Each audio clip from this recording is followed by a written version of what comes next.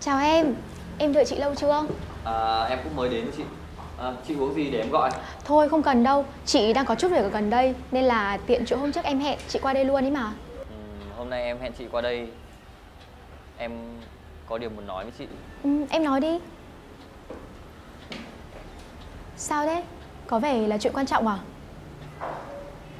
Nếu là chuyện quan trọng thì thôi để khi khác chị em mình nói nhá. Vì chị đang có chuyện gấp phải đi. Bạn chị đang đợi chị ở ngoài cổng ý Thôi chị đi đây Em yêu chị